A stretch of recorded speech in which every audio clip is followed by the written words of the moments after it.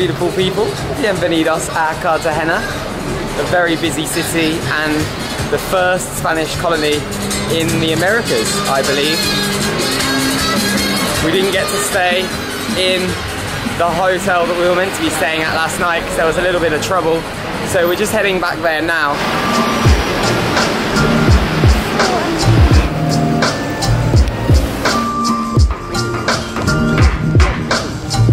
Now that's what I'm talking about. A terrace overlooking the whole of the old town. Yes.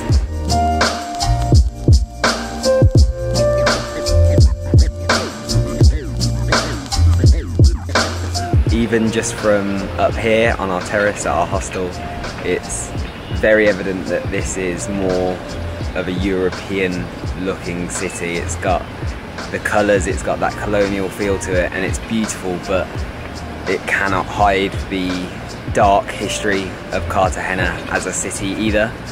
As from the mid 16th century all the way through to the 19th century this basically served as the principal port for African slaves entering Spanish South America.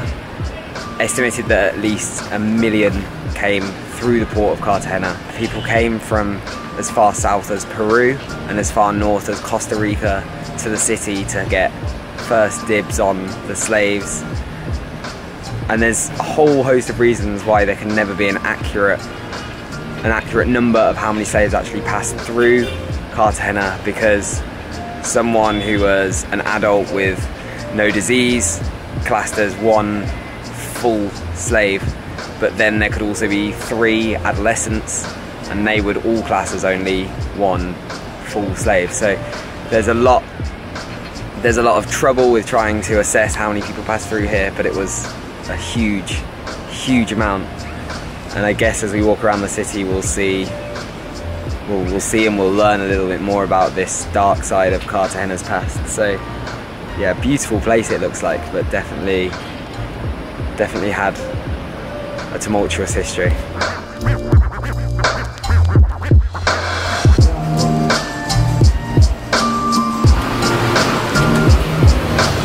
Booked ourselves onto a little walking tour for later today, but until then we've just come to what seems like a very, very upmarket mall and it's special because it's been redeveloped. It used to be a bullfighting ring and apparently they've redeveloped it really well so you can still see all of the architecture and things. So we're going to see if we can get a good vantage point.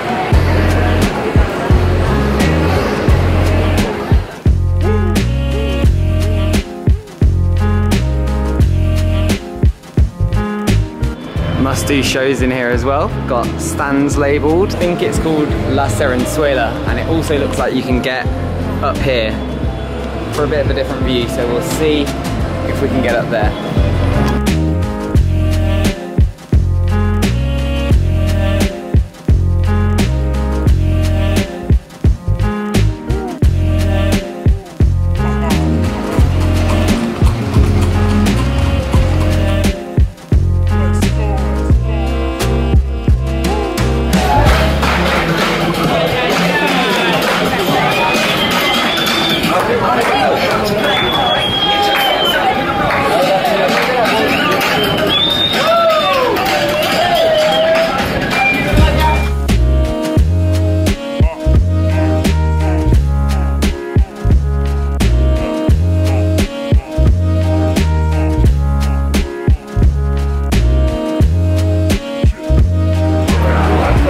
Such a ridiculously pretty city.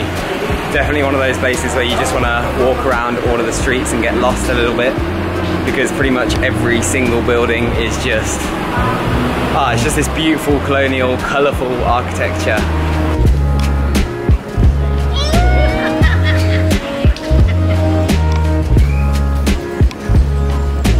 Okay, so nice to meet you. I'm Belkin, I will be guide for today, okay? Domino's here in the city, also in the Colombian Caribbean coast, in cities like Barranquilla, Santa Marta.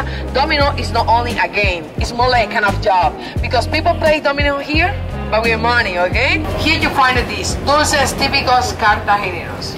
The dulces are like the sweet African heritage that we have here in the city, but these are called cocadas.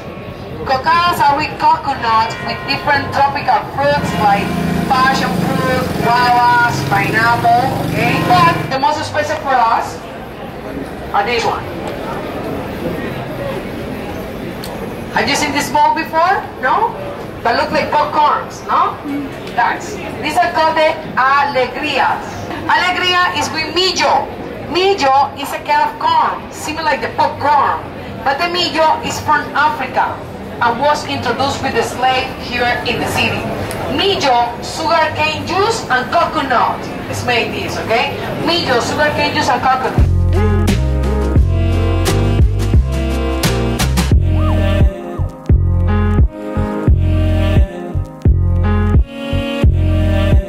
Great little walking tour. Enjoy? Really enjoyed it. It was great. a lot of information, but always good to get a bit more of the history of a place when you uh, first arrive, which is good. And it was only about two hours. Sometimes they go on a little bit longer.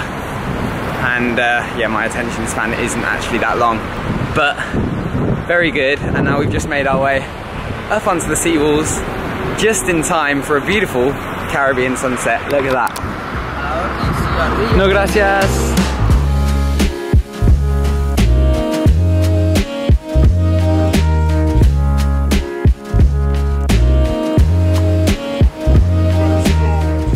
Daydreaming of us coming and staying somewhere like this because it looks very romantic and also very expensive. Very.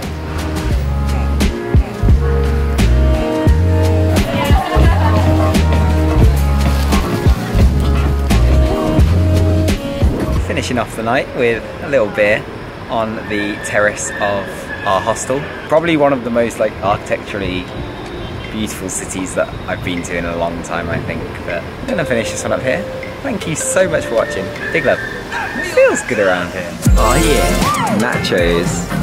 Let's go with our um, child-sized bottles of beer. If you're ever in Colombia and need a child-sized bottle of beer, you know what to get.